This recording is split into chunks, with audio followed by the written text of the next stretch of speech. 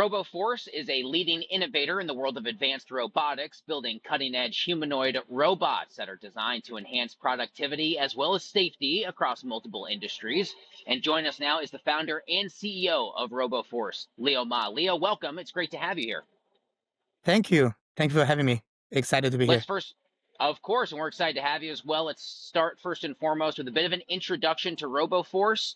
And how do you define your mission? What is the company all about? Sure.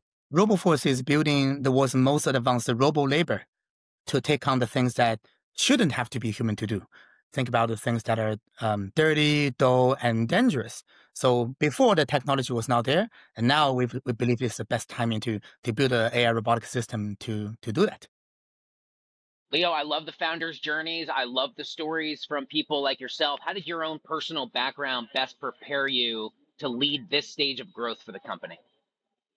Well, my previous years has been very much focused. Uh, my heart is in building AI robotics. Uh, for more than 15 years, um, this is really all I do. From uh, Carnegie Mellon, and uh, 11 years ago, I, I was architect uh, building self-driving cars. Um, eight years ago, I joined a startup, and two years ago, started RoboForce. So it's all about building AI and robotics. What would you say makes RoboForce's approach to robotics and AI unique from competitors in the space?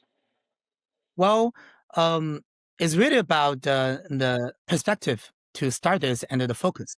On one side, um, I, I do share the same vision that there'll be millions and many millions of robots um, in in our um, society. So a significant portion of that will be robo labor to take on the things that may be far away from our daily life, but is uh, essential, high value that uh, again, dirt, uh, dirty, dull, and dangerous that shouldn't have to be human to do. So that's the angle how we started.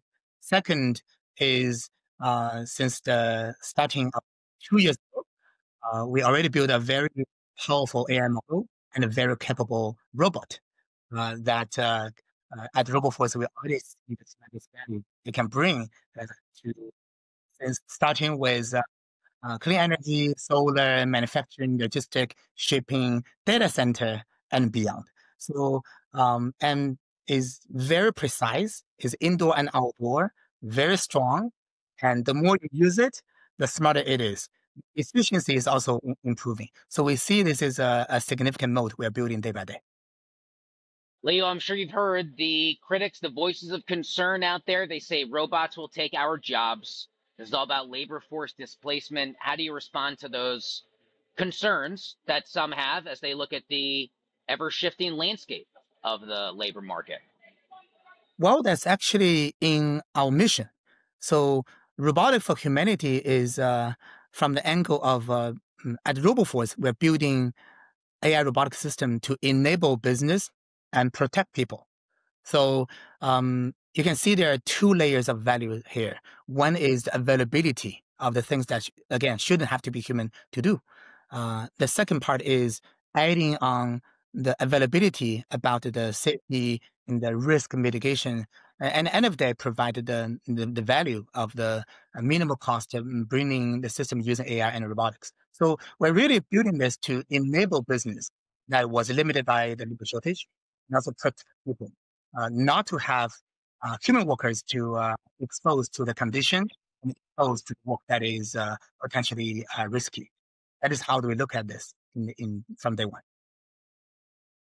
Leo, are there particular industries I wonder that you envision maybe first to adopt robots, uh, like Titan, which is one that I know is in your uh, so-called workforce? Are there particular industries or sectors you see being at the forefront over others?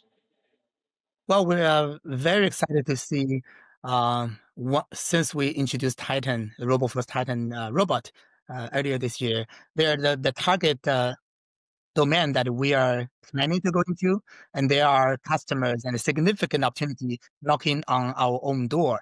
So starting with clean energy, uh, solar, ultra scale solar center uh, as one example, and also significant uh, introduction of a Titan robot to uh, massive scale data center and uh, shipping, manufacturing, and mining. So as of today, uh, we have more than 12 countries customers uh, in line and uh, um, happy to share we have more than 11,000 uh, robot orders that uh, from our uh, letter of intent. So that is much more than we initial in, initially planned uh, uh, towards. So it's exciting time.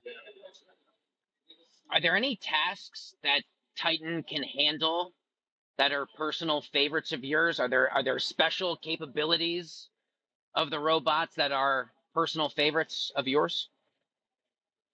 Yes. So um, this is really about the technical breakthrough, what was not possible at all, and now it is possible. Think about the um, both indoor outdoor capable uh, AI robotic system um, in the in the middle of nowhere.